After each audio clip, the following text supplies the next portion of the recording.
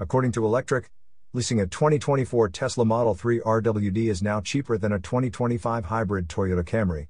The Tesla Model 3 standard range rear wheel drive can be leased for $299 per month over 36 months with $3,993 due at signing. This brings the effective monthly cost to $410. The Model 3's MSRP is $40,380. In comparison, the Toyota Camry Hybrid model is available for $359 per month over 36 months with $2,999 due at signing. This makes the effective monthly cost $442, despite the Camry's lower MSRP of $29,804. For those eyeing the 2024 Tesla Model 3 long range AWD, it's now eligible for the full $7,500 tax credit. This model can be leased for $395 per month over 36 months with $4,089 due at signing, making the effective monthly cost $509.